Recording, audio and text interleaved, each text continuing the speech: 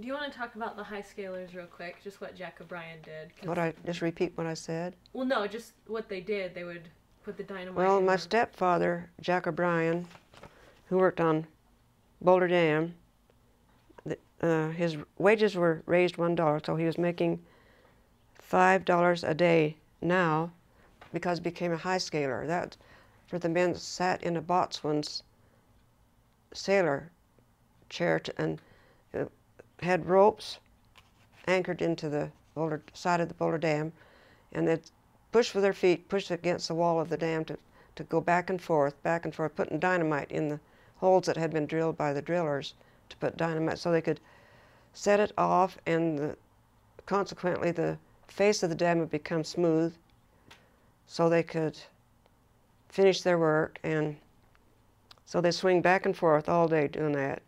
We'll stop for lunch probably, but and that's why the wages were raised five dollars a day. So they paid them in every two weeks. And I don't remember. I would have to do some arithmetic to find out what five dollars. That would be five dollars a day for five days. Five times Twenty-five a week. twenty-five a week for that be that'd be Fifty. fifty dollars he'd bring home, approximately fifty dollars every two weeks. Wow. and Mama had to pay the all the bills, and which was hard and difficult to do. We had a, a grocery bill that, like Little House on the Prairie, that you just went in, ordered your groceries, and they'd put it down on paper, and then you paid. On payday, you paid it. So Mama had to pay part of it, is all, and it's odd, but the owner of the little store was named Johnson, my maiden name. But anyway, she'd pay what she could and let the rest of it ride on the next bill. And she had to do the the landlady's some of her work, washing clothes and so forth, to help pay for the rest of the rent.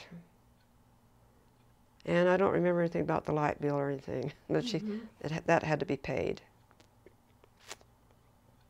So it was kind of a tough life because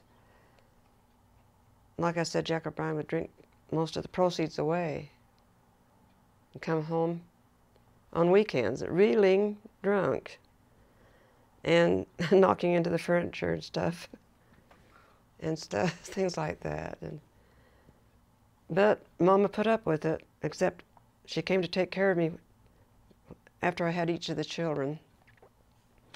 Well, after the triplets were born, 1942, she came to take care of me and the other children.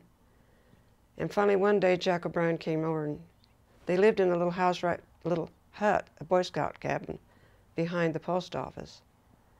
And we did. They didn't have to pay rent because Mom would raise and lower the flag and do whatever chores she had to do. It would pay for the little house they lived in. So Jack O'Brien came over one day at my house at 515 Carson and said, he called her Alice all the time. He said, Alice, when are you coming home? This was your mom. Yeah, he called her Alice. When are you coming home? He said, she said, I've got a question for you, Jack. He had a flat whiskey bottle in his, in his, it was a flask. They used to call them whiskey flask. And she said, I've got a question for you. She took that flask, set it on the floor. She said, you have to choose between me and the liquor, or I'm not coming home. She had, she had had her fill by then. She couldn't stand it anymore.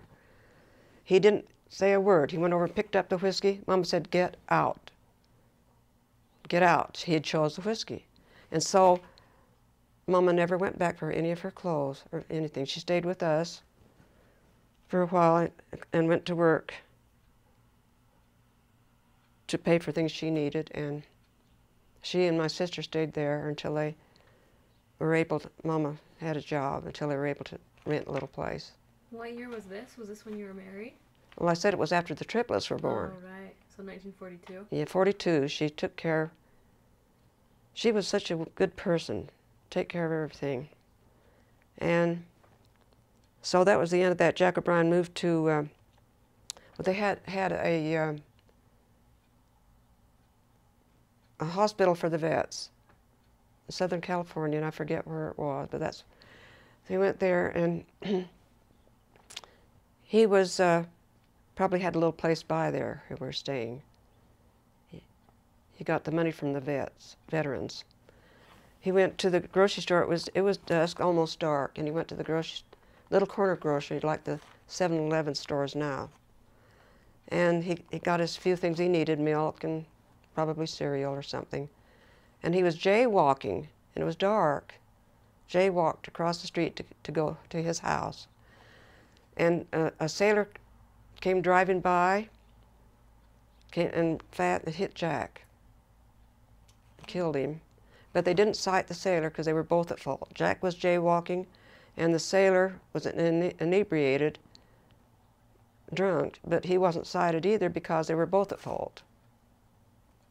And so Jack got killed then. I guess that was about 1943. I don't remember the date. But, um, and then Mama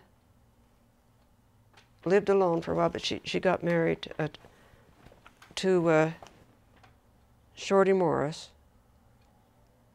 That was the man after Jack O'Brien. She uh, went with Shorty Morris for a while and they got married. And they lived in Las Vegas for, for quite a while. And, and then they moved to Sacramento. That's another story, though. You won't want my story more than anything. Hey, we're up for anything. But he worked for the um, trucking company. I forgot the name of it now. But uh, they had to go over to Donner Summit. That's in uh, out of, it's in uh, the Sierra Nevadas on the way to, to Nevada. And he and his partner, they always had two men on, to the truck. And they stopped for lunch on, on the top of Donner Summit. That's where the Donner Party were Mm-hmm. that, about the LDS stuff. And um, they stopped for lunch, and Shorty Morris, Morris, his name was really Oscar, Oscar Howard Morris. He had had, uh, I guess it would be called the flu now, but had gotten over it, and they were on this, stopped there, and right in the middle of lunch, he said, "I feel like I'm getting this, getting that bad cold again." And he he fell over in his plate, just died of a heart attack right there. And so that was kind of bad for Mama. Anyway, I don't know what else I can tell you about our lives. Wow. So, real quick, you lived in Midas until Grandpa had a stroke in 1990. 2002. Oh, 2002. Okay. I think it was 2002.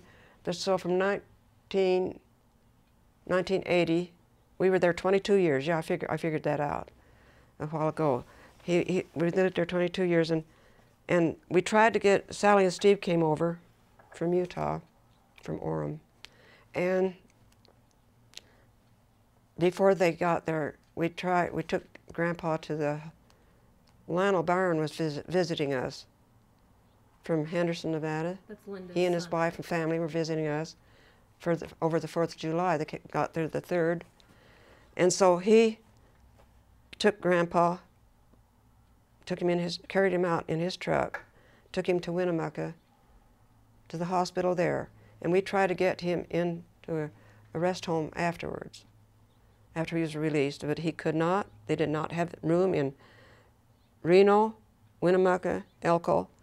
So, Je- uh, so Sally and Steve came from Orem when Grandpa had his stroke. It, we were in the hospital talking, and so she knew about the Orchard Park Care Center. And so, after Grandpa was released, we took, they took him in their car with me, and and well, the, our belongings. Uh, everybody helped us with our belongings.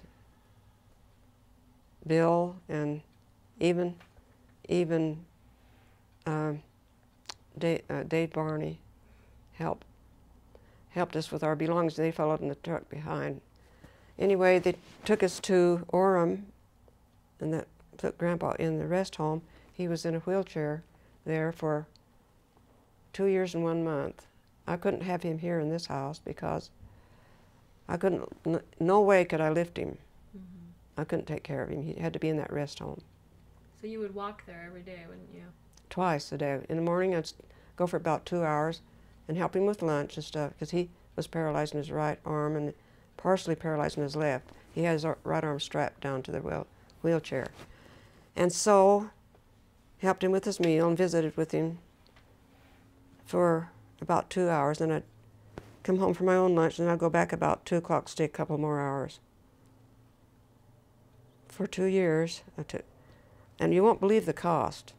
Now, his insurance company, the Ironworks, would not pay for anyone in, in a rest home. That was against their policy. So I had to pay it out of my pocket, $3,500 every month. I almost got to the poor, poorhouse by the time, and so, uh, but I did. I paid it out of my own pocket.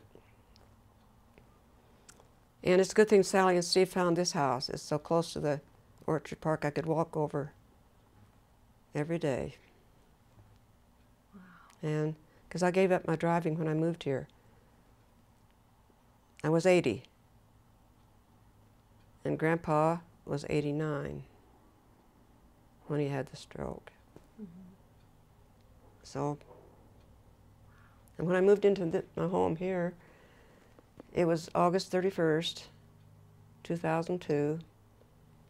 Before that, I, I lived with Sally and Steve for six weeks. And this house, August 31st, Janice, Sa- Sally Michelle's mother, helped me move in, and so she stayed all night with me on on the 31st. So that was so I've been here seven years in this house.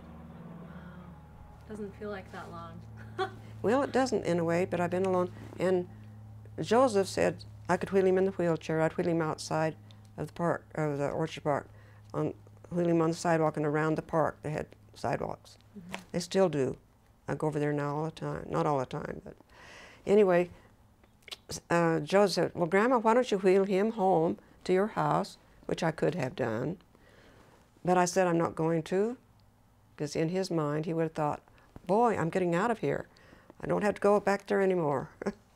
so I said, "I won't do that, Joseph. He'll think he's been released." And of course, he wasn't in his right mind. Half the time, he didn't know I was there, and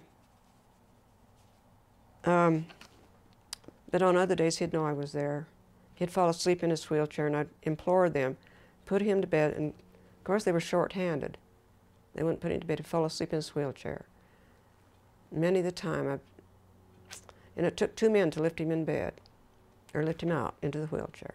They forgot to tie. They had a strap around his waist to snap him in, in his wheelchair. They forgot that, and he fell out of it. And I think he, he didn't really break his arm, but it kind of dislocated his shoulder or something. Because they should always pay attention to what they're doing, even though they're short-handed, you know. One day I walked in there after they'd taken him to, they had to take him into Provo for, to have his, have everything checked. And I came in there, I looked around, I said, I went to theirs, where is his catheter? He had to have a catheter. And she said, oh, we forgot to put it back on. Oh my golly.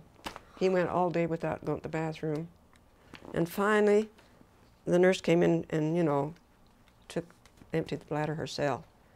I says, how much did you get out of there? She said, not a very good thing to talk about, I guess, but I said, how much? She said, so many liters. I said, in American language, how much did you get out of there? And she said, about two quarts. I said, oh, you gotta be kidding.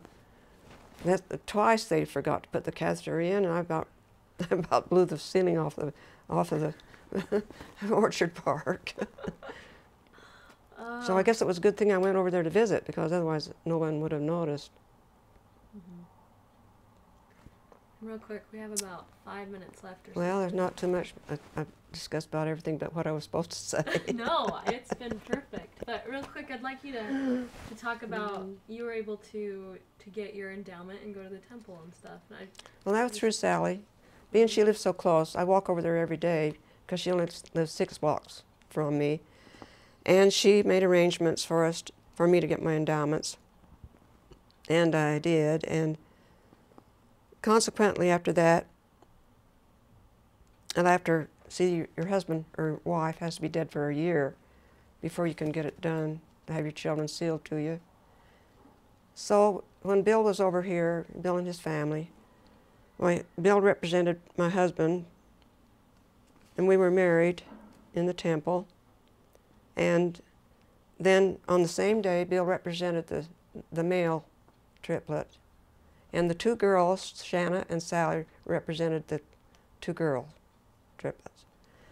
And and Sally and Shanna were sealed to me, and Bill, and then then uh, then the triplets were sealed. So everybody, but Linda someday, my oldest daughter Linda will be. But but she was smoking at the time, and she can't go to the temple of smoke. I think you have to have everything right, and I think she's quit now, and she's trying to be good so she can uh, have her own endowment someday. And I want her to become sealed to me before I go. You there can tell. My friend turned, she's 10 years older than myself. She turned 97. She's in a rest home north of here. And she turned 97. She still walks every day and just the same thing as my, myself. And so, but I'm 87 and, and you never know when the end comes. You could be walking across the floor and fall over with a heart attack. Being as I had a heart, heart trouble and still have to take medication for my heart. But I have a stout, like that song, Stout Hearted Men. Uh, I'm able to do all my work, housework, and and thanks to Shanna, I'm on Meals on Wheels.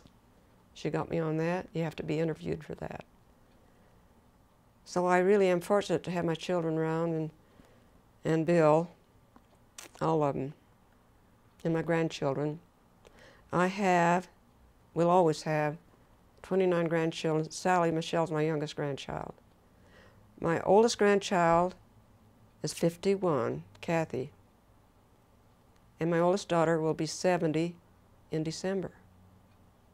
Wow. 70, 69, 68 will be their ages. And so I have 70 great grandchildren and five great great grandchildren. What a legacy. Don't ask me to name them.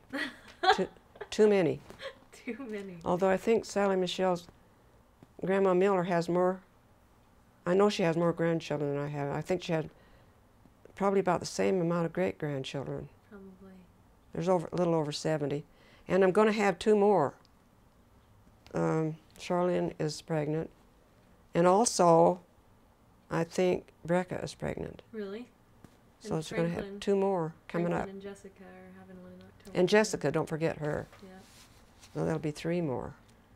Well, Grandma, if there's anything, if you could, what would you like people to remember about you most? Okay, one thing I thought about the, just the other day, and I, I'm going to tell Shanna, have put in my obituary that I was born in a boxcar. You know, Mm-hmm. and also I've got a wonderful, wonderful family. What would I do if I moved it, lived in New York? I'd have no help hardly, except Meals on Wheels. Hmm, Oh, Grandma. But I'm very fortunate indeed. I go over to Sally's, my Sally's to do the Indexing. indexing, and I'm now on 71,500 lines, plus the 45,000 lines I did last year. But I think that's that's the only thing I know about a computer. Is that I can't get my mail or anything through it. But you're doing work for others through indexing, helping them get their family history. And I make those little squares. I, I haven't got done any of that sewing since Stan, Stan left because I just can't get in the mood yet. I got so kind of tired when I had. He and I get along good, but um, he has his system and I've got mine. You know, like he doesn't like the radio because he's reading. He can't have any outside music. Now that's when I read the best. is If I got the radio going. so All right. Well, thank you, Grandma. you're welcome. I hope I've said a little bit. It was perfect. I promise. I would love to keep going.